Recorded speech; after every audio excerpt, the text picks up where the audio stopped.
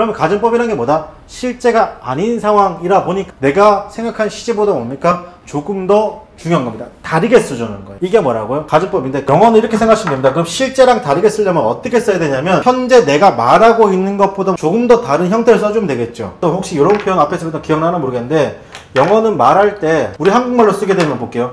내가 뭐라면 새라면이죠. 자, 내가 새라는 것은 뭡니까? 실제가 아닌 상황이죠. 그런데 여기다 내가 새라고 하면 날아갈 것이다라고 말하면 어떻게 되는 거예요? 이때는 가정법이 아니라 미친놈이죠. 이건 상황이 심각한 거다, 그죠? 왜 그래, 너 요즘 무슨 일 있어? 이렇게 나와야 되는 거예요. 그런데, 아, 내가 새라면 날아갈 텐데, 텐데라고 이렇게 얘기하면 이제 뭐가 되는 거예요? 왜? 그러고 싶어? 이렇게 말할 수 있잖아요, 그죠? 좀 느낌이 어떻게 해요?